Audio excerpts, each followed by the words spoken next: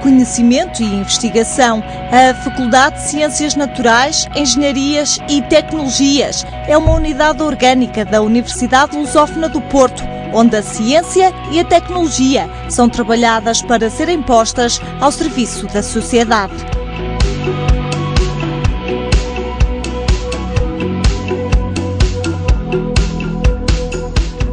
Fundada em 2006, a quando da abertura de portas da Universidade Lusófona, na cidade invicta, a IFCNet, como hoje é designada, é uma faculdade ainda muito jovem, mas aberta ao exterior e empenhada em transformar o conhecimento da ciência, engenharia e tecnologia numa alavanca de desenvolvimento sustentável.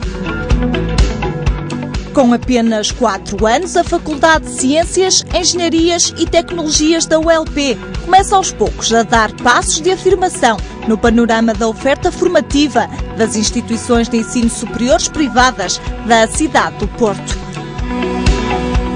O crescimento da faculdade é visível no aumento da oferta formativa, de uma única licenciatura em Engenharia do Ambiente e uma pós-graduação em Energias Renováveis, a IFCNet evoluiu para cinco licenciaturas.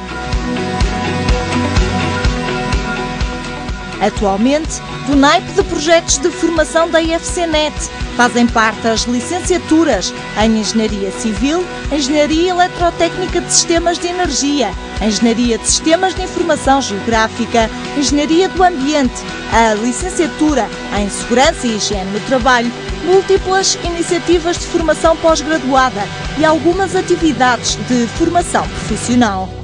É um naipe que, digamos, surgiu recentemente, eh, que, portanto, nos aumentou, multiplicado por 5, aquilo que era oferta há um ano atrás. Isto significa crescimento da universidade, que vem, aliás, acompanhada de outros índices de crescimento. O nosso número de alunos também se multiplicou por 5 neste último ano. Estamos a crescer, desejamos crescer, obviamente.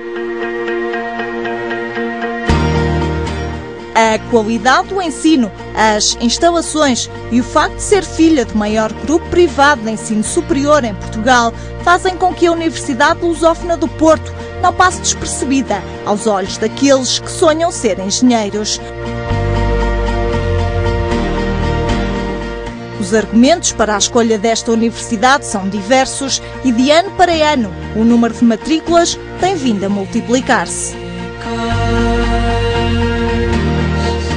Fui em novembro para a Católica, no Hospital São João, uh, tirar uma especialização pela ETGI, uma especialização em qualidade ambiental. Uh, isso dá-me um nível 4, mas como hoje em dia está tudo muito difícil, eu decidi continuar. Decidi então entrar para uma licenciatura e vim parar aqui à Lusófona. Acho que apesar de ser uma faculdade com umas instalações mais ou menos pequenas, comparado a outras. Eh, é um local muito acolhedor, os professores falam connosco, estão dispostos a ouvir as nossas ideias. Uh, se nós tiver, quisermos pôr em prática projetos, desde que sejam viáveis, eles tentam ajudar-nos. Eu já frequentei a Lusófona num curso de Gestão, Proteção e Socorro, âmbito de proteção civil, uh, aqui há uns anos atrás, e então já conhecia e, decidi vir para esta universidade. Eu escolhi esta universidade porque uh, o curso de engenharias uh, renováveis é, é, específico, enquanto nas outras universidades temos de passar por automação e esse tipo de específica e uh, eu gosto mais de mexer com, este, com energias renováveis e esse tipo de materiais. Eu de pequenina uh, que conheço esta casa, enquanto convento, enquanto convento do Postigo do Só. Eh, eu andei aqui eh, há 50 anos, eh, quando no início da minha escola primária, e 50 anos depois voltei a esta casa. Um regresso emocionado que se deve em grande parte ao Decreto-Lei número 64-2006, que permite o acesso ao ensino superior a adultos com mais de 23 anos.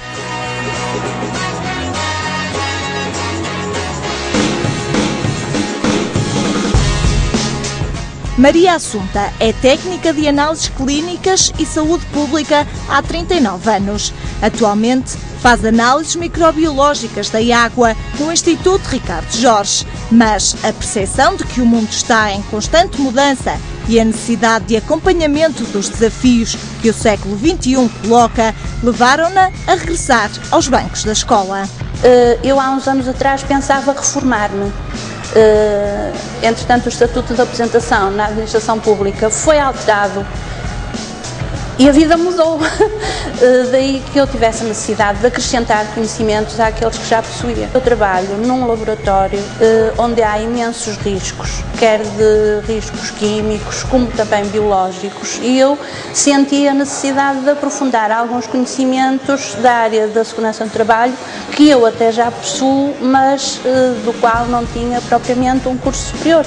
E daí a razão de eu ter, de ter tentado entrar e realmente entrei pela via dos maiores de 23 anos e a coisa está a correr muitíssimo bem. Grande parte das matérias que está a estudar no curso de Segurança e Higiene no Trabalho na Faculdade de Ciências Naturais, Engenharias e Tecnologias da ULP não são novidade para Maria Assunta. Talvez por isso é que a técnica de análises clínicas não entenda que o curso seja difícil, mas garante que está a aprender imensas coisas novas. Este primeiro ano eh, as disciplinas são um bocado ainda de caráter geral, não é? Eh, e portanto estou a aprender imensas coisas novas. Eh, não quer dizer que nos anos que aí vêm eu não as vá aprender e se calhar vou sistematizar muitas das ideias e dos conhecimentos que já possuo. Mas de facto tem sido relativamente fácil fazer as cadeiras do curso porque não são matérias novas, eh, são eh, aprofundar de conhecimentos que, que já tenho eh, diria que vem exatamente ao encontro daquilo que eu pretendia. Eu, quando resolvi fazer uma licenciatura, quis que ela me fosse útil, me conferisse o grau de licenciatura, porque hoje em dia eh, isso é absolutamente necessário, pelo menos o grau de licenciatura, e, portanto, aliando os conhecimentos que eu tinha, o objetivo que eu tinha de ter a licenciatura, ser numa área que eu gostasse e uh, ainda uma, um outro fator, que é a proximidade entre o local de trabalho e a universidade. Eu estou a 5 minutos do meu local de trabalho, que de alguma forma, com muito esforço, com algum sacrifício, mas me facilita uh, a frequência desta universidade. Uma satisfação que tem por objetivo principal a aquisição de mais conhecimentos e não tanto a procura de novos horizontes profissionais. É evidente uh, que se os horizontes se abrirem, eu posso eventualmente um dia resolver até mudar de profissão. Mas se isso não acontecer, uh, é evidente que na profissão que eu exerço atualmente se enquadram em absoluto. De forma diferente de Maria Assunta, pensa Paulo Ferreira. Paulo também entrou na Universidade Lusófona do Porto através do regime de acesso de maiores de 23 anos, mas não veio apenas à procura de novos conhecimentos. Paulo é militar das Forças de Segurança há 12 anos e trabalhou durante nove na Armada.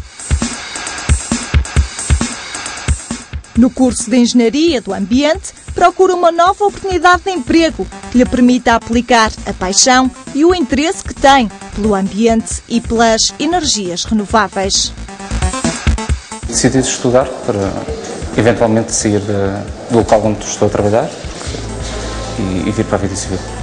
Foi esse o meu principal objetivo e ingressar aqui no, na área de ambiente, visto estar ligado ao mar e é uma área que também gosto. Com todas as alterações eh, ambientais que estão hoje em curso, acho que é fundamental ter formação e termos eh, pessoas com capacidades técnicas nessa área e aqui a Universidade Lusófona permite-nos ter duas partes, ter a parte ambiente e, ter a parte das energias renováveis, que tanto hoje se fala e que vai ser parte do nosso futuro. A engenharia é a ciência que permite adquirir e aplicar os conhecimentos matemáticos, técnicos e científicos na criação e aperfeiçoamento de utilidades, como estruturas, máquinas, aparelhos ou sistemas que realizem determinada função. é uma ciência bastante abrangente que engloba vários ramos mais especializados. Cada um tem uma ênfase mais específica em determinados campos de aplicação e em determinados tipos de tecnologia. A engenharia civil é o ramo da engenharia que projeta e executa obras como edifícios, pontes, viadutos, estradas, barragens e obras nos setores das engenharias hidráulicas fluviais, hidráulicas marítimas e sanitária.